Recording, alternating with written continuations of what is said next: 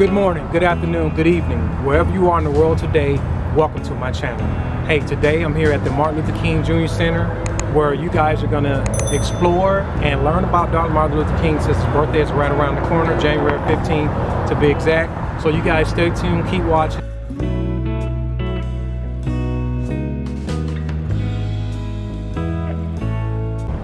Hey you guys, so I'm actually standing in a very important art piece, which is Gandhi. This is what the Reverend Dr., the late Reverend Dr. Martin Luther King pretty much idled himself around when he believed in peace, when he believed in equality, when he believed in Emancipation Proclamation. This is the word, actually this is the words he studied from Gandhi. And this is the statue of Gandhi. So we're just gonna circle around for you guys. And actually here, if you want to show here, it says Mohandas Karamchand Gandhi. I, am hoping I'm pronouncing correct. Basically, from 1869 to 1948, this right here was donated by the Indian Council for Cultural Relations. Pretty much giving gratitude and thanks to Gandhi for influencing the late and great Dr. Martin Luther King. So this is Gandhi. Okay, you guys, so this is the visitor center unfortunately today or it's been been pretty much closed for a while due to COVID-19 and safety precautions but I just wanted to pan around and give you an idea of what the visiting center looks like. Remember that's the mural I showed you of Gandhi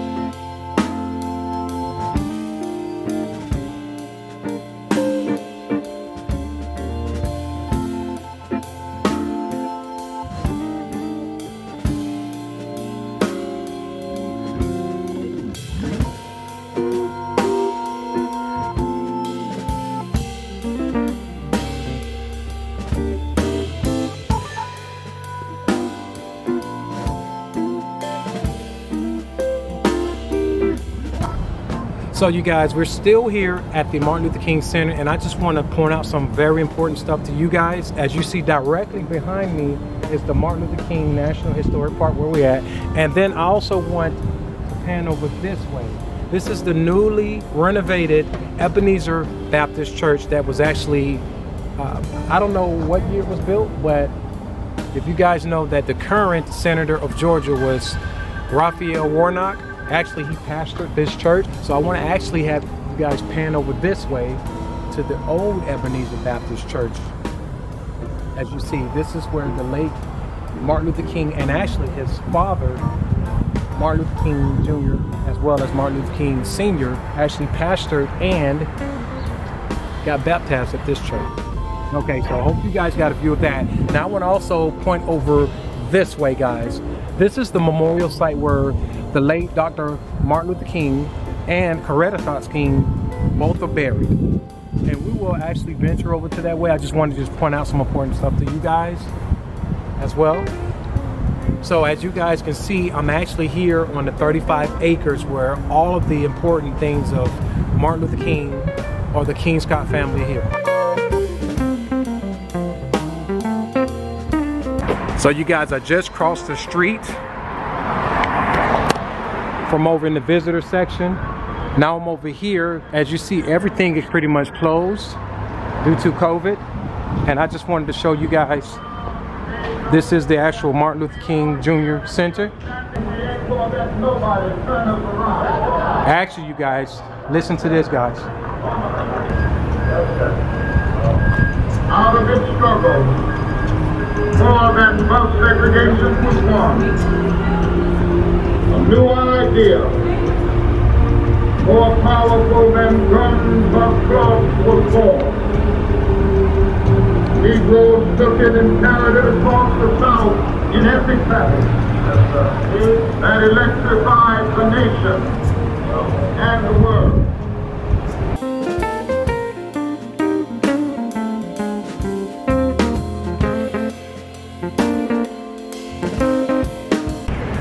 So me and Danielle is actually um, getting ready to walk over to the place of residency where um, the late Dr. Martin Luther King Jr. was born and raised, his first 12 years, the actual house he grew up in.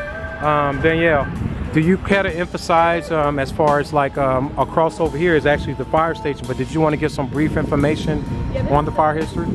Fire station that was original to the neighborhood when Martin Luther King was born in this neighborhood. Okay, so this is the original fire station. While he was a kid, this was So here. It's, it's part of his historical site. Okay. Preserved historical building that was here since his time. Okay, All of these homes are the homes that were in his neighborhood. these homes over here. What are these homes right here? All these. They are titled shotgun homes Okay, back in that day. And then they're all part of the historical site because they're the original neighborhood built from this. okay. And I'm actually looking up here. It is actually in the intersection of Auburn Avenue and Boulevard. Correct. Okay. Yep.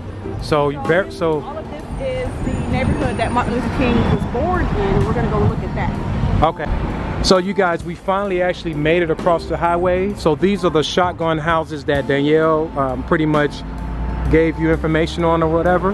So any, any more um, information you want to give them on as far as, We're going to come up on uh, Martin Luther King's birth home, right here. oh, his birth home is actually located up here. Okay. Okay. So now we're actually walking to the birthplace of Martin Luther King. And like I said, you guys earlier, this was his um, birthplace where he was born and raised, and he lived here for his first 12 years um, before venturing off to, um, I think they said some Alabama. Alabama, yeah. And did you guys know that he was uh, actually was probably going to go for being a law student, but he pretty much had love and passion of being a pastor, so that's why he was the Reverend, late Reverend Dr. Martin Luther King.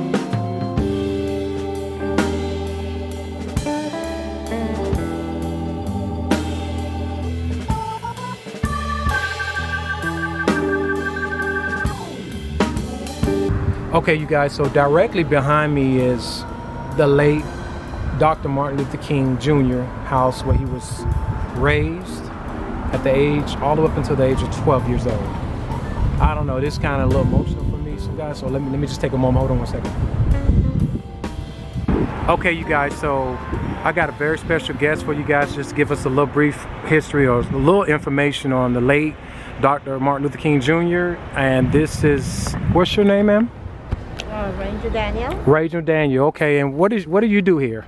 interpretation. So Interpretation. we, uh, we teach, Okay. talk about his life, his legacy, Mm-hmm. and uh, of course, this is the home of Dr. King. So when folks come by, Correct. they're able to see where he was born and lived up until age 12. Okay. Our park reflects the time he was here with us. So this is where he lived, worked, worshipped, and now is his final resting place as well. Okay. And this the is the house Center. directly behind us, correct? Correct. Okay.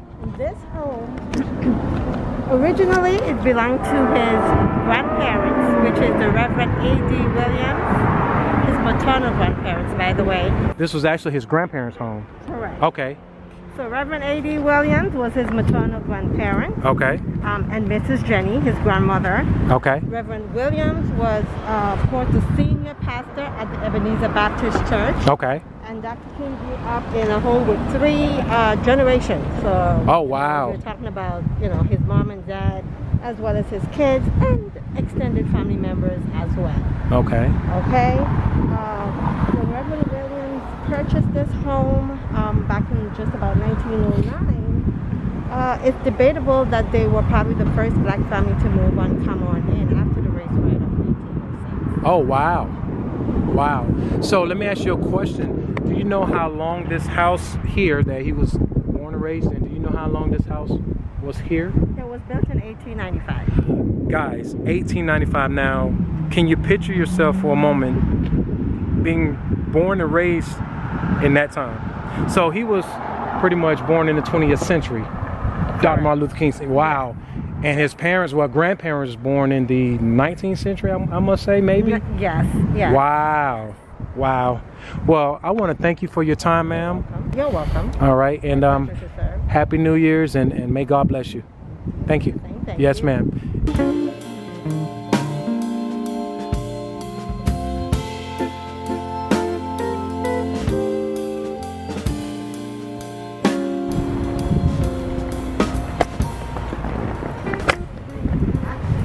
Okay, you guys, this is um this is a very emotional moment for me because I'm trying to imagine or picture myself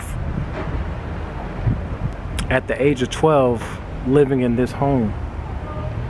I'm trying to picture myself as a 39 year old who fought for civil rights, who fought for equality, who fought for social justice, sitting on the very steps as you see guys, where he grew up at. I'm trying to picture myself being back in that time. This guy was a natural born leader for the 20th century, guys. I'm just taking a moment. The exterior part of the house, what we know today where Martin Luther King was born and raised.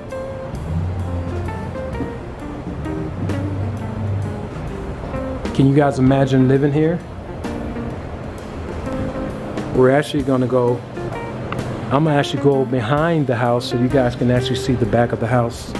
Okay, so now I'm gonna take you guys on the back side of the house. I'm gonna give you guys an exterior view of what the side of the house looked like. And remember you guys, the National Park officer told you guys that everything that's inside of this house is actually original, everything. So nothing has been moved, his bed's still in there. Everything is just still original, guys. Everything is preserved. This is the backside of the king's house, yard, everything. Our civil rights pioneer was born and raised here. Wow. Okay, you guys, so since I'm not able to show you the inside of Dr. King home as a childhood because of uh, COVID-19 precaution or whatever, however, they do have an illustration of the house inside of the house. So this is what I wanted to show you guys. So basically, this is what the front living room looks like inside. And over here, this is actually the kitchen area, as you guys can see. And as you also can see, this says this is uh, Martin Luther King Jr.'s birth home. So his bedroom, the kitchen area, and the living room. And as you see, it's pretty much they have morals and values and standards just living in the King family and the household. Okay, you guys, so what I was unaware of if you guys remember when we first crossed the intersection to get to actually the uh, birthplace of Martin Luther King, and I pointed out shotgun homes that was across the street. Well, it was just brought to my attention that residents actually currently today actually live in these shotgun homes. So I'm going to pan around so you guys can see exactly what I am talking about. These shotgun homes. Residents actually still live in these shotgun homes. Wow. I did not know that.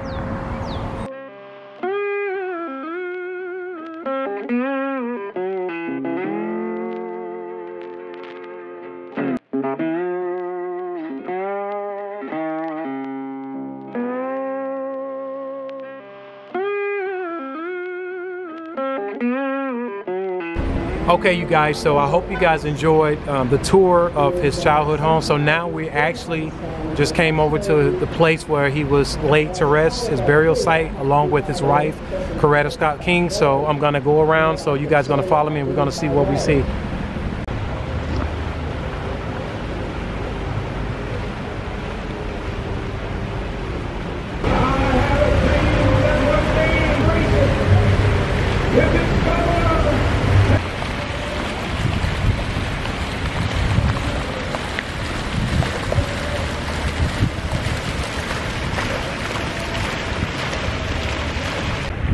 Okay, you guys, we just made it over here to the burial site of Reverend Martin Luther King Jr.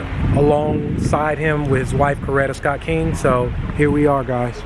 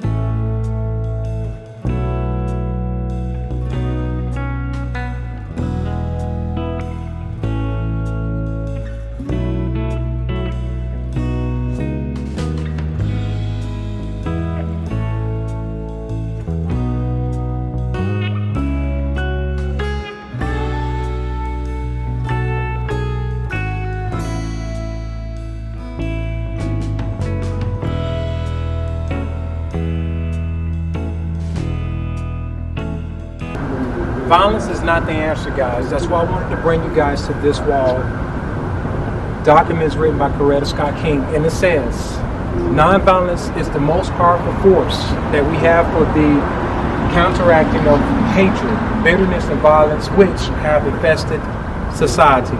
Another quote she wrote, people who think nonviolence is easy don't realize that it is a spiritual discipline that requires a great deal of strength, growth, and purging of the self so that one can overcome almost any obstacle for the good of all without being concerned about one's own welfare. And this was an actual quote wrote by the great and late Coretta Scott King. Violence is not the answer, guys. Okay, you guys, so directly behind me is the original Ebenezer Baptist Church where the late Reverend Dr. Martin Luther King Jr. and his father, Dr. Reverend Martin Luther King Sr. actually pastored at this church. So I want you guys to take a look around. This is so amazing to be in the moment, to be here, to actually witness a pioneer, to witness someone who stood for equality, someone who stood for justice, social justice. And it's just amazing to me to be here to witness all of this. Okay, you guys, so I made it across the street and directly behind me is the newly renovated Ebenezer Baptist Church. So I just want you guys to take a view of it.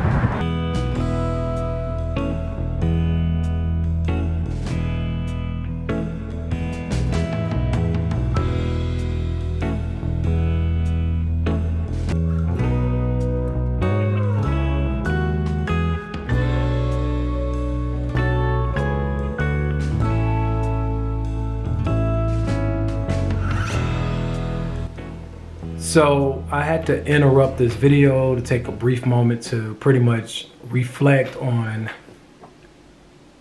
the Martin Luther King Jr. Visitors Center. Um, I've learned so much in the past years than I've learned in high school, college, pertaining to, I won't just say black history, but pertaining to like important events that took place and that shaped the world today or shaped our nation, shaped America. After visiting the Martin Luther King site for the third time, this time was different. This time I had to really sit back and reflect on an individual, the late Dr. Martin Luther King Jr., who sacrificed his life for social justice and equality. Um, I don't know if you guys are aware, but there's a lot of stuff going on in this world today. And I sit back and I reflect on the things that this man did to get change in this country. And like I said, when I got home tonight, I was just reflecting on putting myself in his space. He was like a vehicle for change. And it was just some people back then that really loved this guy. And then it was some people that really hated this guy for what he stood for. To me, this guy's nothing but motivation. To me, this great man, all he wanted was everyone to be treated equal as humans. Everyone to have the same amount of respect, dignity, and pride, and for each and every individual to be treated as equals. Blacks, white, Latinos, so on and so forth. Visiting this site on Auburn Avenue where he was born and raised, I got a chance and I had an overwhelming feeling, but I, I, I got a chance to actually see and I could feel the eerie vibe of just sitting on the step, as you guys seen in the video, picturing myself being a little boy, born and raised in a house that was pretty much the start of something that was gonna become major. And still today, Dr. King dream lives on, his legacy lives on, and still today we celebrate a great man. Throughout all the opposition that was trying to stop him from trying to just do the correct thing, still today we celebrate a great man that did great things and amazing things for our nation. So I just wanted to take some time out to reflect and to say that I'm very honored And I'm very proud of Dr. Martin Luther King Jr. for having the audacity, for having the courage, for having the faith and the bravery to stand for what he strongly believed in. And that's for every man, woman, child, each individual to just get treated fairly in this country. Even when he went to Tennessee to fight for the sanitation workers when they were on strike, where he later got assassinated. And I was trying to picture myself being a 39 year old who impacted so many people around the world, around the country, around the nation, someone who strongly believed in, and someone who took the time to be inspired by Gandhi, someone who believed in justice, peace, someone who believed in nonviolent. I just wanted to take the time to reflect this amazing man. If you get, if you guys ever get a chance, take some time to look at some of the old videos of him as a child, documentaries and stuff. So you guys have to visit his home, his childhood home. You have to come to the site. So I just want to say thank you guys for tuning in. And, and I had to interrupt this video and I just had to come home and reflect. First off, I want to say thank you guys for hanging out with me. I want to say thank you guys for tuning in to my channel. One thing I want you guys to always do is to always don't stop keep going.